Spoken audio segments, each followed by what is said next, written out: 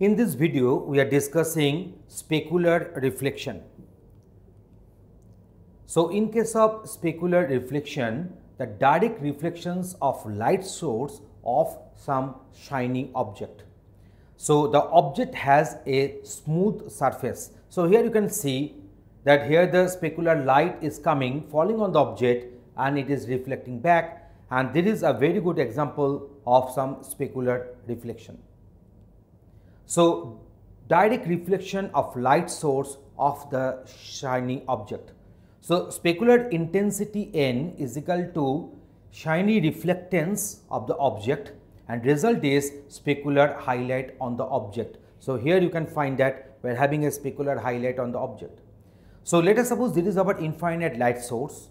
So, from here the light is coming and there is an angle towards this light source from the surface of the object from this very point and there is a normal to this very point and there is a reflection and there is our angle of incidence there is our reflection angle and here this camera has been set at the angle of alpha between this reflection light and this camera.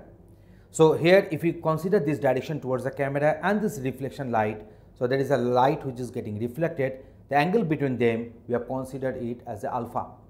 So, now this is the respective equation. So, intensity is equal to IP Ks cos of alpha to the power of n. So, here we are having IP that is the light intensity and this alpha is the angle which I have discussed early and there we are having this Ks that is the specular reflectivity. So, and this is the respective equation that is I is equal to IP Ks cos of alpha whole to the power of n and here it is most important is that there is no dependence on the object color. So, this is known as our specular reflection. Thanks for watching this video.